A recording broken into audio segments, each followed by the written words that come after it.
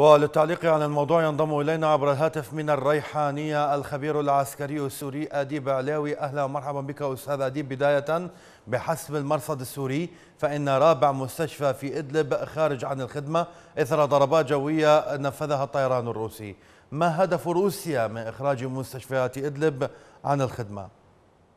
مساء الخير. تحية لكم وتحية المشاهدين يعني حقيقة روسيا ما زالت تمارس دور القتل والتدمير على الأراضي السورية ويعني نحن نعلم أن يعني روسيا هي الآن محتلة احتلال كامل الأركان لسوريا. يعني هي محتلة لسوريا بشكل كامل القرار السياسي وقرار سلم الحرب وقرار العسكري هو بيد يعني روسيا. وبالتالي هذه الهجمة الشرسة التي نراها روسيا يعني في الحقيقة هي لا تقاتل الإرهاب كما تدعي لكن هي تقاتل تقتل المدنيين. آه، لاحظنا أن هناك ضرب المشافي لاحظنا أن هناك ضرب لمراكز الدفاع المدني إضافة إلى التجمعات السكانية تريد يعني تهجير السكان المدنيين المتواجدين في المنطقة وبالتالي هي بدأت حتى تضرب الطرقات العامة التي يحاول الناس الهروب من خلالها باتجاه الشمال. يعني تحاول يعني روسيا أن, أن, أن تقتل المدنيين المتواجدين حتى على الطرقات العامة. ولذلك روسيا هي تمارس القتل بشكل ممنهج على المدنيين المتواجدين وليس على حتى الفصائل الثورية المتواجدة في المنطقة. طيب مجلة فورن بوليسي الأمريكية تقول آه، في تقرير لها أنها تكشف عن أطماع روسيا في سوريا. إن كان الأمر من المعلومات بالضرورة لكن السؤال حول اتفاق المناطق الآمنة في ظل هذه الأطماع.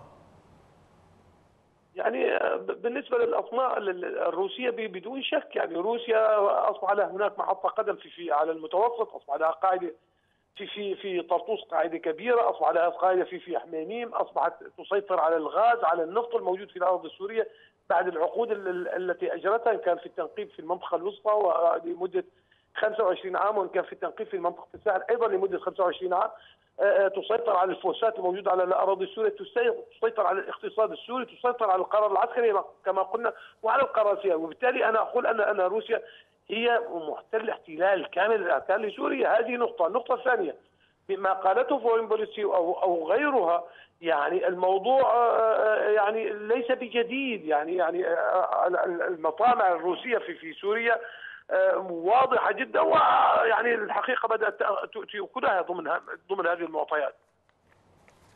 طيب يعني إذا كانت روسيا ومطامع روسيا في سوريا اقتصادية وهي تروم الوصول إلى المياه الدافئة. فهل إدلب أيضا هي من أهداف روسيا في سوريا؟ لا أعتقد أن إدلب هي يعني لكن إدلب هي إحدى الحلقات يعني. دعني أقول ان أن ما يجري الآن في إدلب هو عبارة عن رسائل موجهة إلى تركيا للضغط على المعارضة من أجل أن تقوم يعني يعني روسيا كما نعلم أن هناك فشل في في اسيتانا الأخير.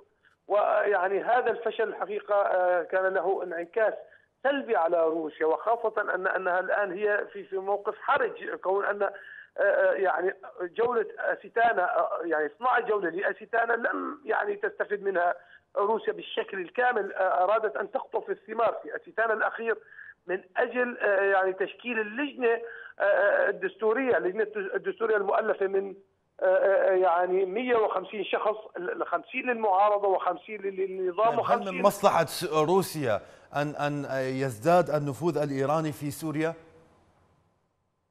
لا ليس من مصلحتها بل على العكس تماما نحن نلاحظ أن هناك تنافس تنافس شديد على على على على النفوذ في في على الأراضي السورية بين إيران وبين روسيا ويعني دائما نحن نلاحظ أن هناك الحقيقة هذا التنافس يؤدي إلى إلى إلى خلل وإلى إلى إلى حتى إلى إلى القتال في بين الفصائل يعني التابعه إلى روسيا والتابعة إلى آه، إيران. لذلك آه، يعني روسيا دائما تحاول ان أن تكون آه، هي صاحبة القرار الفصل وخاصة في في الموضوع العسكري. هي تسيطر على وزارة الدفاع وعلى أركان الجيش وهي تنقل القطاعات العسكرية من مكان إلى مكان بي بي بي من أجل نعم. آه يعني أن آه فقط تسيطر هي على القرار بمعنى آخر انها تحاول أن تجذب آه، المناصب المهمة إلى جهتها وهناك أيضا إيران تحاول من خلال ذلك أن يكون لها يد طولة في في الجيش لكن الحقيقة هو تنافس لا يزال على أشده وبالتالي روسيا حاولت أن تشكل الفيلق الخامس والفيلق السادس من أجل أن يكون لها قبضة عسكرية قوية في داخل الجيش السوري وعلى الأراضي السورية. نعم كان معنا من الريحانية الخبير العسكري السوري أديب العلاوي شكرا جزيلا لك.